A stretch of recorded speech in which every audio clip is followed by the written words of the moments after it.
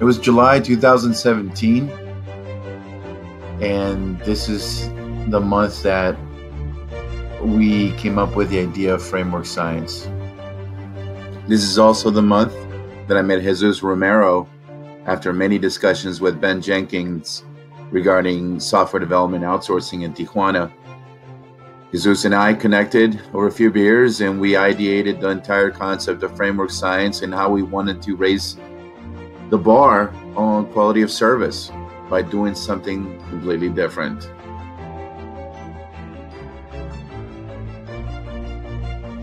The very next day, we got up early and started looking for office space. It was a long day, but we found a really great spot. Looking out that window, we had no idea at that time what was going to be our future. Jesus worked quickly and secured the rental contract so we can get started with the renovations of the office space, and there was a lot of work to do.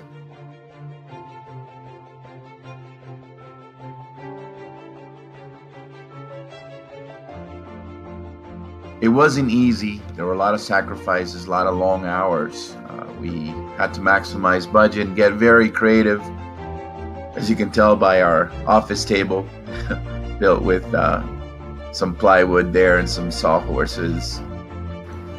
We got some pretty cool lights, thanks to Ben Jenkins.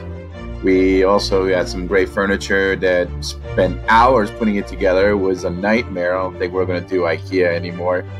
But things started to take shape and we were excited. In a week's time, we were able to finish the office and pick up our first client at the border, bring him to the office, and interview our, first uh, round of engineers. It was a behemoth effort from all of us, uh, Jesus and his family, and all our friends. We were trying to get things done in time and to achieve what we've achieved in such little time our client was impressed. Even though we didn't get the business, we knew that we were onto something. Time was ticking and we had to move fast. So all our efforts shifted towards sales.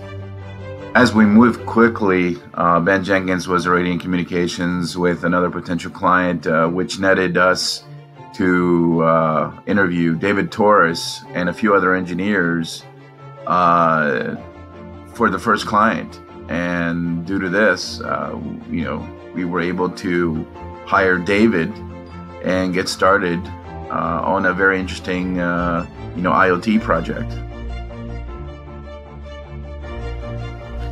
Now we were committed, and that hiring David turned into also us hiring uh, Palacio uh, on the mobility side.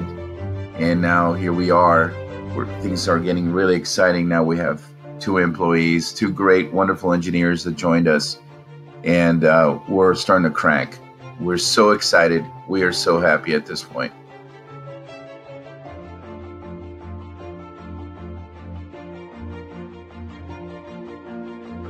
And you know what? We started to grow.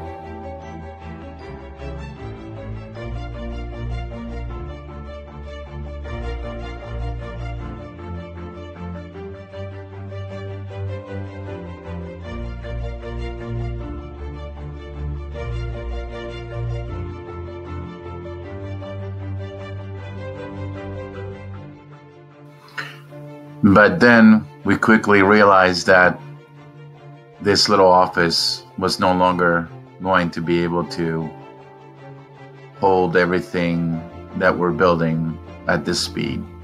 We had to think outside the box and start thinking about the future. Once again, Jesus came to the rescue and found us a great spot with a brand new building. We got a great deal, plenty of space, and uh, we were just so stoked to to be able to move into a brand new building like this.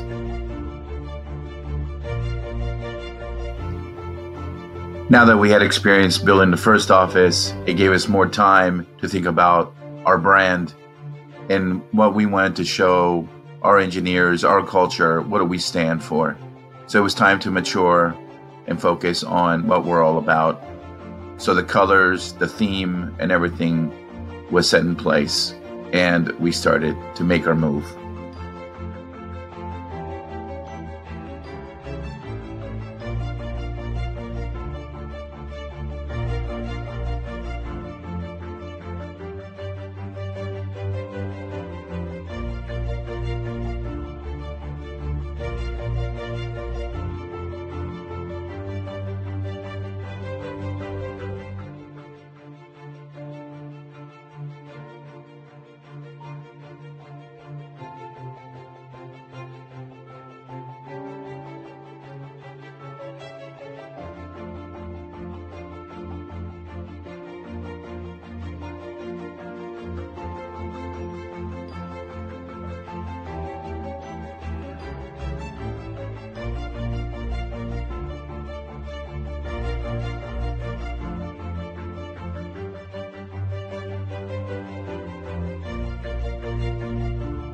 We started to gain momentum and we had time to help out local tech communities.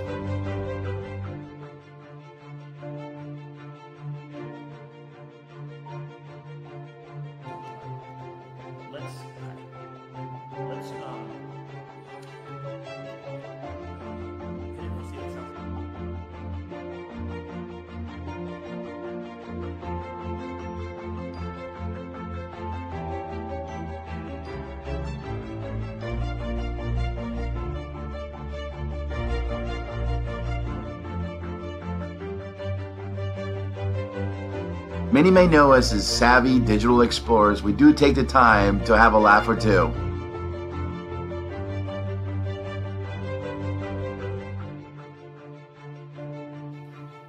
Our technology culture is about the right people doing the right things in the right time. We like to go that extra mile to get shit done right.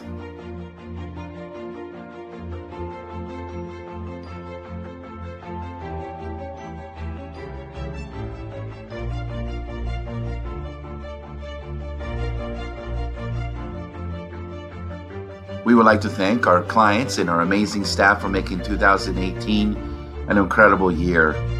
Thank you so much from the bottom of our hearts for making our mission a success.